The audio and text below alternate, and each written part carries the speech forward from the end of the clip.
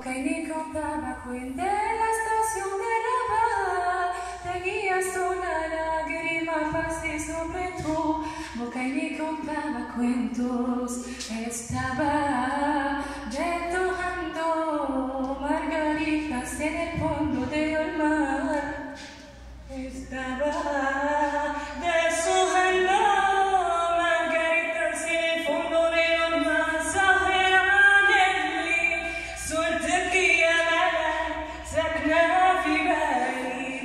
entertainment and are.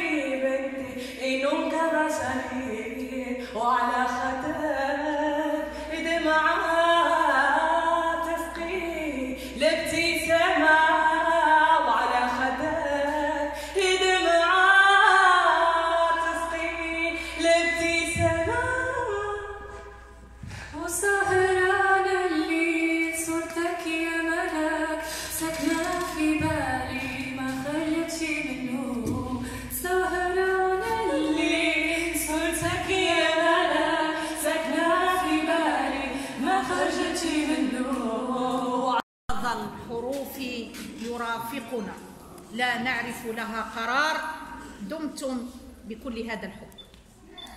باسم جمعية السلم وباسم الأهداف التي سطرتها وسطرها الأعضاء وهي خدمة الإبداع أرحب بكم في هذا اليوم وفي حضرة المجموعة القصصية للدكتور بشيب المسعودي. شذرات من حياتي وأرحب بالأستاذ والمبدع والناقد محمد مرزاق. مرحبا بك. أعتذر عن حضور أستاذ عبد الملك المراس لا نعرف ما وقع. أرحب بجميع الأسماء الحاضرة التي تكبدت عناء السفر من أجل الكلمة الصادقة.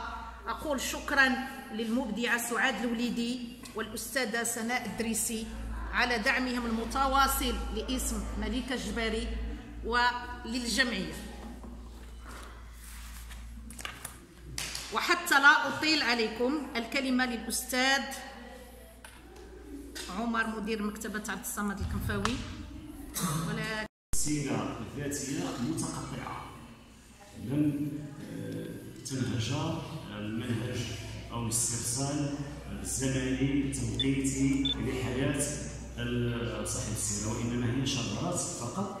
آه، حاول أن آه، يضع عنوانا صغيرا تحت شذرات من حياتي شيء من الواقع وشيء من الخيال.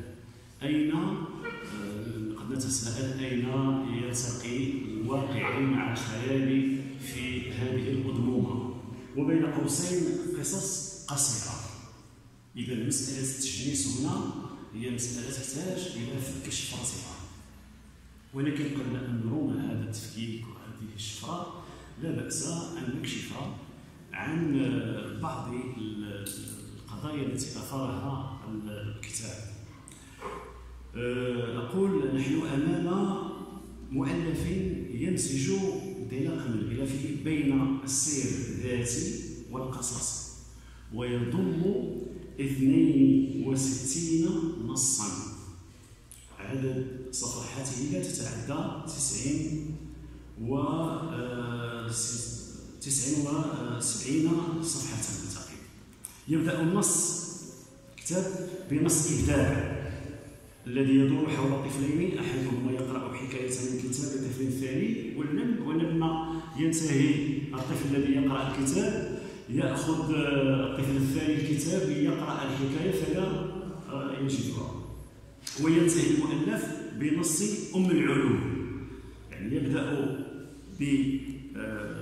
بابداع وينتهي بأم العلوم وأم العلوم كناية عن الفلسفة حيث كثر اللغط بين المدرس مدرس الفلسفة وتلاميذته للنقطة التي أعطاه إياها تتمثل في عشرة رغم أنه في إجابته قد اعتمدوا على الكتاب. وكانت إجابته تتمثل في كون الفلسفة ليست جاهزة وإنما هي طريقة للتفكير طريقة لطرح الأسئلة وليس للحفظ والتلقين. وبين النص الأول والأخير تتناسل نصوص أخرى كثيرة. آثرت بالنسبة إلي لكي لا أدخل في إطار الأفكار الوحدات وكذا تتناسل نصوص كثيرة.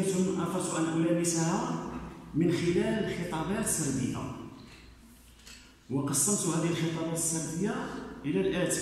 الخطاب التربوي الخطاب السياسي الخطاب الديني الخطاب السينمائي. على مستوى الخطاب الأول الخطاب التربوي. والنصوص التي تمثل هذا المنحى هي خوف أعياد ميلاد حشيش في المدرسة.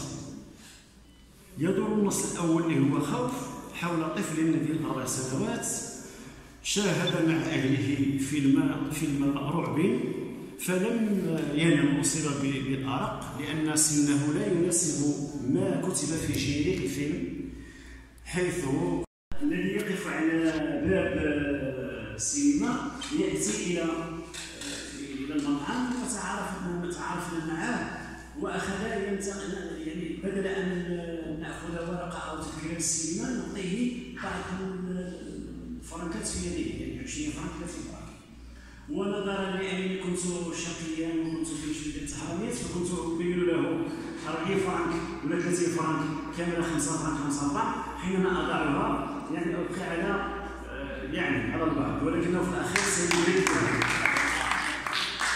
يعني على المباشر على المباشر محمد مرزاق يكشف تحرميته. يعني سي بوشعيب في الحقيقة يكتب عن مرحلة نتقاسمها يتقاسمها جيل هذه المرحلة مجموعة الأشياء ولكن سأواخر يعني كمؤاخذة على السي بوشعيب غادي نذكر عنه بعد. قلت يا هو البطل دخوله بلمسة إلى آخره. آه، على ضوء هذه الخطابات الاربع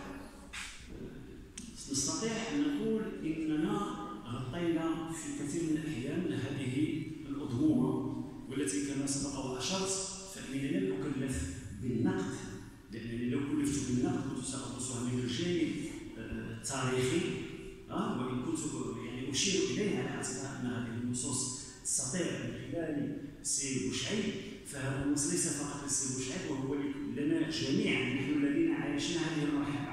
فكلنا نرى هذا نرى أنفسنا في هذه المرحلة ونرى أنفسنا في هذه التجليات وهذه التنظرات وهذه القضايا التي أثارتها الغضرومه لذلك المنهج التاريخي رغم قدمه فهو يسعفنا لكي يجعلنا أمام نص المئات أن هذا النص هو كمئات يظهر عليها يظهر على ينعكس عليها المجتمع.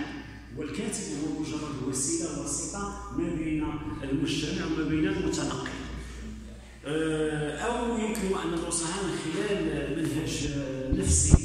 هو يعطي على اعتبار هذه الأيقونة في الغلاف تعطينا آه، تغري أن نشتغل على المنهج النفسي لكي نكشف هذا الوجه ونكشف مجموعه من الاشياء كما يمكن أن نقرأ النص على مستوى نظرية التلقي لكي نأخذ راحتنا في تحليل البنية الثانية داخل هذا النص. ولكنني اثرت بما عليه الاستاذه ملكة أن يكون آه، ان تكون مشاركتي هي للتقديم على اعتبار أنه الكتاب الأول للأستاذ آه، نرحب به في عالم الكتابه سي مرحبا بك آه، هنا في القاعة ربما لا تعرف بعض الوجوه.